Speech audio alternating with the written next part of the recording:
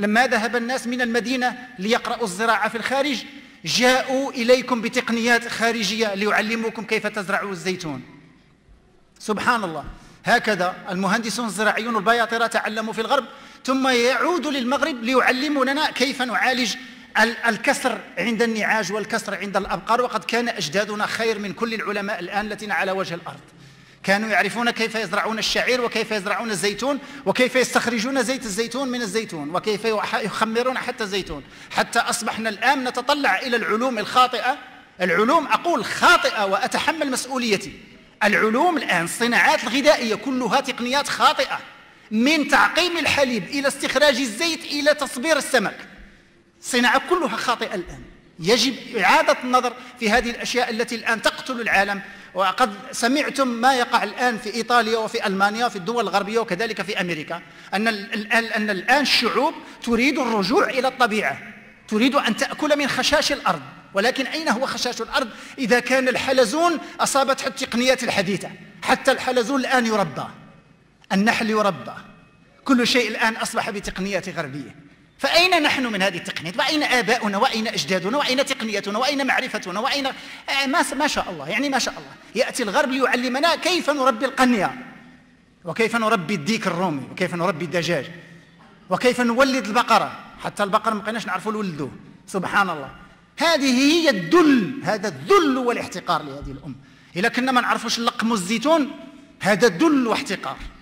باش نحتاجوا إحنا التقني من الغرب يجي يعلمنا كيفاش نلقموا الزيتون ولا حتى النعناع لقموا النعناع ما شاء الله. يعني الفلاحة ديالنا ما عمرهم حرتوا هذا النعناع ولا ولا حتى ولا حتى رأوه كيف ينبت. سبحان الله يعني ما شاء الله. ولا حتى يعلمونا أن البطاطا هذه البطاطس خير من البطاطا. كاين فرق ما بين البطاطا والبطاطس في الأكل. هذا الفلاحة غادي يعرفوا أحسن من هذه المسائل. أن البطاطس هي بطاطس جيدة علاش؟ لأن النساء ولاو كيشويوها وجيدة وجميلة. لماذا؟ لأنها نبات الغرب. لأن البذور تأتي من الغرب.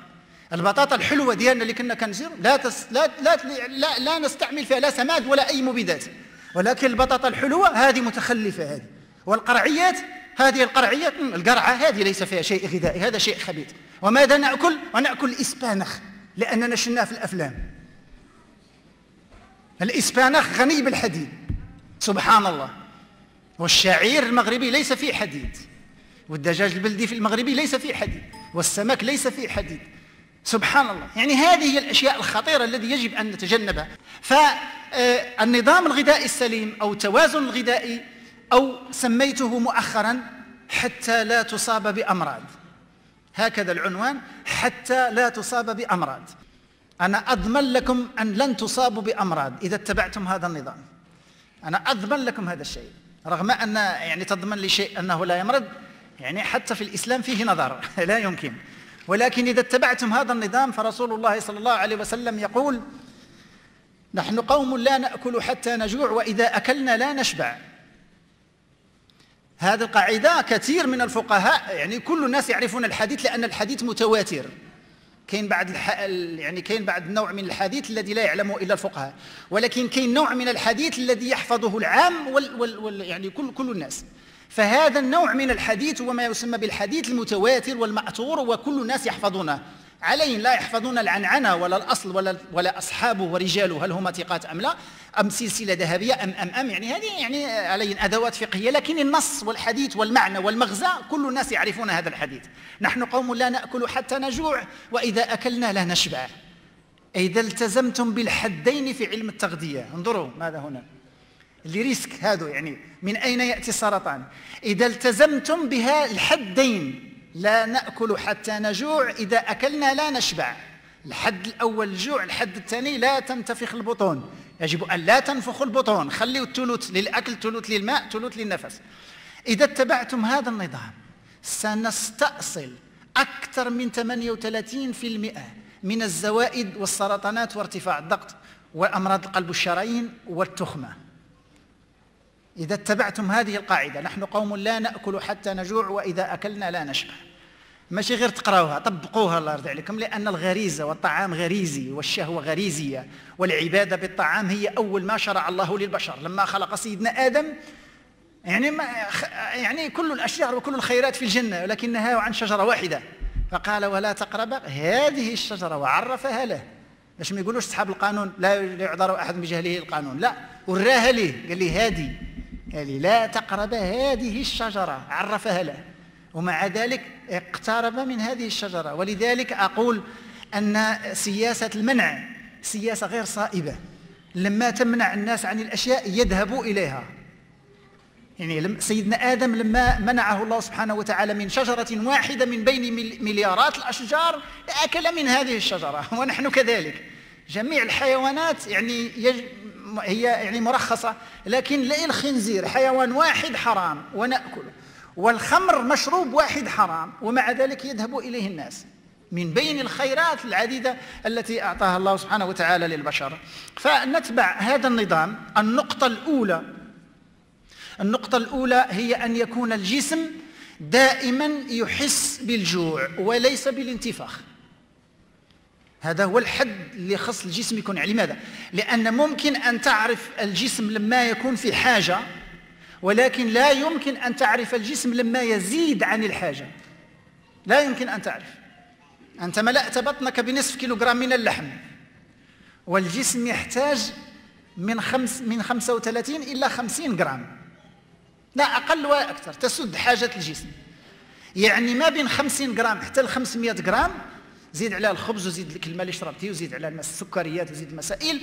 غادي تلقى ابتعدت من الحد الأدنى ب 1500 مرة في المئة. ما يمكنش تكون صحيح. لا يمكن. بتاتا. لا يمكن. لازم تكون عندك ارتفاع الضغط l'hypertension لازم يكون عندك زوائد لازم يكون عندك سرطان لازم يكون عندك أشياء. ولو بعد حين يعني ولو بعد سنوات. أما إذا التزمت الحد الأدنى وهو الجوع أنا أنا يعني أقول بأن باش تعرف باش تعرف الجسم ديالك واش فايت الحد ولا ما فايتش الحد هو اللي في الكيمياء تنسميه ال titrage acido-basique ملي كيولي ذاك اللون أحمر تتعرف بأن القدر وصلتي ليه titrage اللي تنسميه ال dosage بالفرنسية. باش تعرف الجسم ديالك باش doser باش تقاد يعني التقدير الأدنى هو أن الجسم من الأحسن يكون يحس بالجوع يكون يحس شيئا من الجوع. ثم تعرف تضبط أن الفيزيولوجيا ديال الجسم متوازنة أنك على أحسن ما يرام. فإذا كان من غير الممكن أن يضبط الشخص التغذية فليصم. اللي ما بغاش يصوم ما بغاش ينوي الصيام ما بغاش يعبد الله يجوع. أنا كنقولوا جوع يومين في, في الأسبوع ما تغداش. غير يومين ما تغداش كاع لا تصوم غير يومين ما تغداش. أنا اللي كيهمني هو الصحة الناس يعني اللي بغيتي تعبد الله منك ليه؟ أنا ماناش وسيط بينك وبينه إلا ما قدرتيش تصوم جوع يومين في الأسبوع جوع يومين في الأسبوع. أنتم كديروا الرياضة كل صباح جوعوا مرتين في السيم ماشي تجوعوا غير ما تغداوش مرتين في الأسبوع ما تغداوش ثلاث الجمعه ولا الحد ولا الاربعاء ولا اللي بغيتي تخير. اثنين والخميس دير اللي بغيتي. الإسلام ما كيحدد لا لون ولا نهار. الإسلام ما كيحدد كاع اللون لا الخضر ولا الأبيض ولا الصفر ولا الكحل بس اللي بغيتي. وما تيحددش الإسلام ما كيمشيش لهذوك القشور الإسلام يعني يتسامى عن هذه الأشياء. فلا ما قدرتيش تصوم جوع مرتين في الأسبوع ما تغداش وغادي تشوف يعني هيا جربوا سترون جربوا سترون بأنفسكم. يعني اشربوا الماء كثير وجوع مرتين في الأسبوع. غادي تشوف بأن الجسم ديالك كيتضبط انت ضبط نفسك بلا ما يضبطك الطبيب. انت ضبط نفسك. ثم إذا كان من غير الممكن الحل الثالث على الأقل صوموا رمضان. راه نقدر نقسم لكم أنا ما كتصوموش رمضان. من الناحية الشرعية أنتم تصومون رمضان. صيامكم مقبول. ولكن من الناحية الطبية راه حتى شي واحد ما تيصوم رمضان. راه كيقلبوا الفطور رمضان ورمضان فطور تيقلبوا النهار ليل والليل نهار. على الأقل صوم رمضان رمضان صوم رمضان جوع طيح الوزن ديالك وضبط الفيزيولوجيا ديال الجسم. صوم كما بغاك الله تصوم. معنى كما بغاك الله تصوم. أنك تأكل نفس الشيء الذي كنت تأكله في الشهور الأخرى ثم تعمل بنفس العمل الذي كنت تعمل به. ماشي ما تقربوش ليه راه صايم بعد منه راه غادي يتقلق؟ خليوه ناعس راه عياله وراه صايم ما يخدمش مع صايم ما يطلعش الدروج صايم ما يتقداش صايم ما يجبدش الماء صايم ما يسرعش صايم ما يحرجش. أنا لا يمكن. خصك تصوم على الأقل رمضان. والله ثم والله ثلاث مرات. لو كانت الأمة تصوم رمضان طبيا أقول أما فقهيا مقبول صيامكم. والله لو كنتم تصومون رمضان كما ينبغي أن يكون من الناحية الطبية.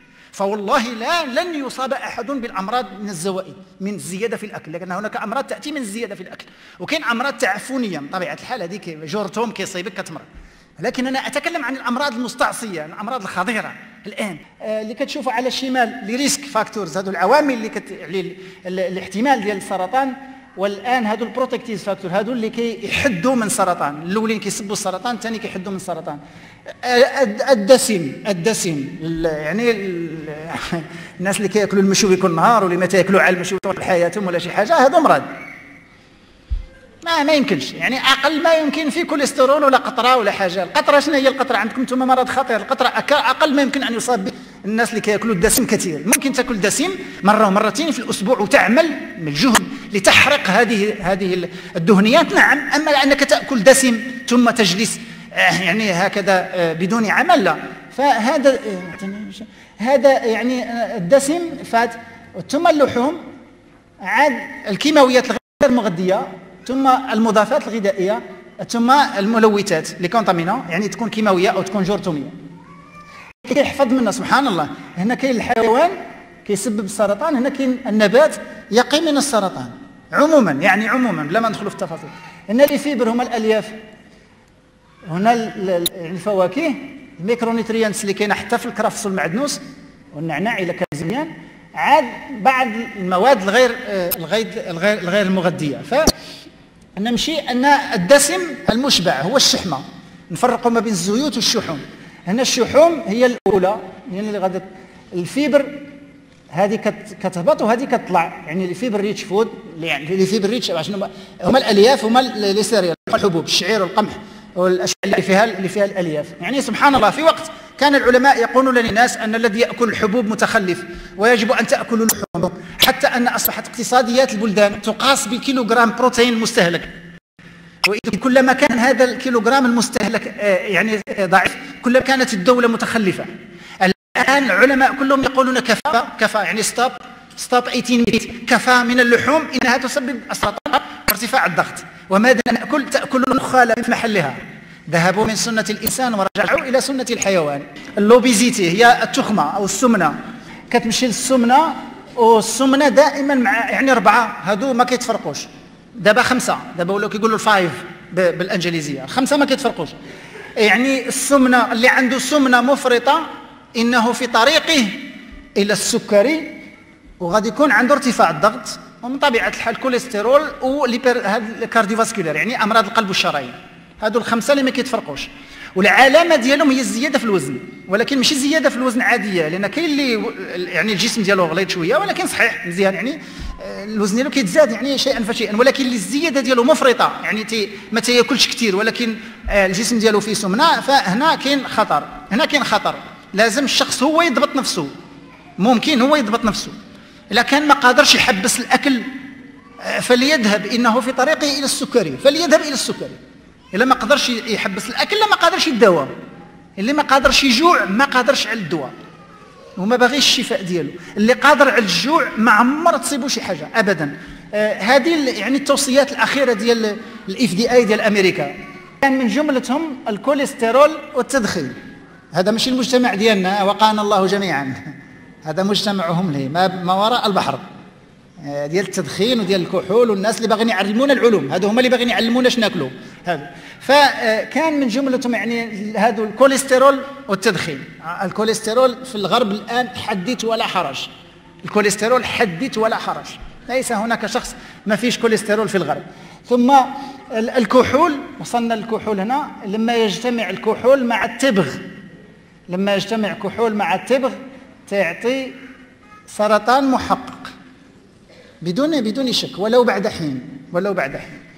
ثم ال tobacco consumption مع الإيثانول كيوصل لل risk هنا 81% شوفوا شحال 44 من 19 هنا 18 ملي كتوصل أكثر من 20 ثم 81% 81% ديال الكحول. ملي كيجتمع الكحول مع التبغ هنا انواع السرطان هنا الرئة عند الرجال عند النساء سرطان الدم سرطان الكبد سرطان المعي الغليظ ال colorectal والمستقيم وكذلك سرطان المعدة. يعني هنا يعني ال correlation يعني ما بيناتهم تلقى أن الرئة من طبيعة الحال الرئة الناس اللي كيدخنوا سميتو 0.62% يعني كنسميوها corrélation positive يعني هنا ترابط إيجابي. ثم كذلك ال liver 0.47 الكبد.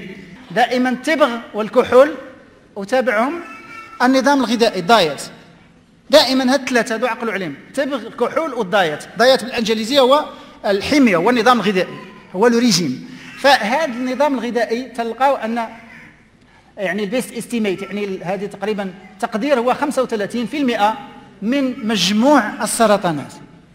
والله شيء كثير شوفوا 35% من آه، جميع السرطانات المميتة السرطانات يعني الخطيرة هذه death cancer death.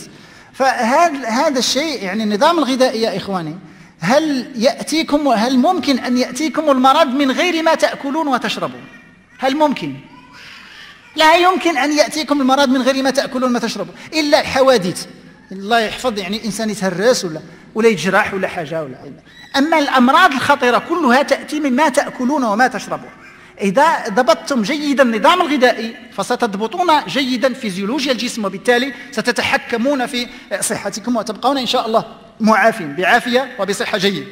فإذا أفرط الشخص إذا أفرط الشخص في الأكل وفي هذا النظام الغذائي ويعني تعامل مع الأغذية وكأنه علف كأنه علف تماما لأن الحيوان يعلف باش يسمن؟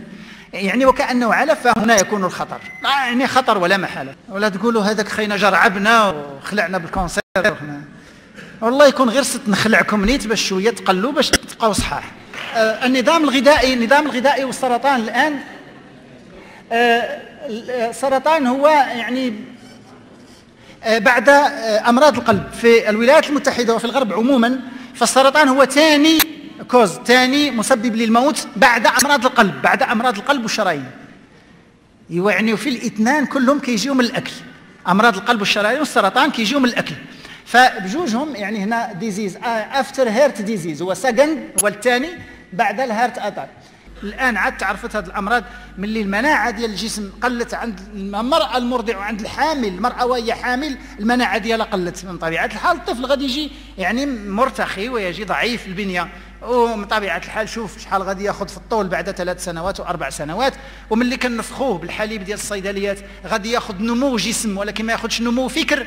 ربما الطفل يبان لك عنده 15 عام ورا عنده خمس سنين ملي كتعطيه عملية ديال الحساب ما يعرفش ليها هو الطول ديالو ولا عنده متر و40 تما غادي يكون نمو ديال الجسم ولكن دون نمو الفكر. فخاص يكون تجانس نمو الجسم مع نمو الفكر اللي كان في حليب الأم فقط وليس في أي مكون آخر من صنع الإنسان. فما هو السرطان بطبيعة الحال؟ كتعلمون أن هذا السرطان يأتي من آه، خلل في الدي إن أي الحمض النووي داخل الخلية وهذه وسبحان الله خلية السرطان هي الخلية الكسولة في الجسم. ولو لم تكن كسولة لكان التورم السرطاني يظهر بعد خمسة عشر يوم وليس ثلاث سنوات. هي خلية كسولة كسولة جدا. خلية السرطان. فمن طبيعة الحال التورم السرطاني يصبح يعني بشكل ملفت ويصبح بشكل خطير ثم يتعمم في الجسم ولذلك سمي سرطان لأن مأخوذة من العنكبوت. تعرفوا هذاك العش ديال العنكبوت؟ سرطان لأنه من لما كيبدا كيأخذ الجسم كله. تيكون يعني مع, مع الجسم كله. لماذا؟ لأن عامل ال IGF الذي يسبب السرطان هو عامل يدور في الدم ال IGF يدور في الدم وهذا العامل يذهب إلى كل الخلايا.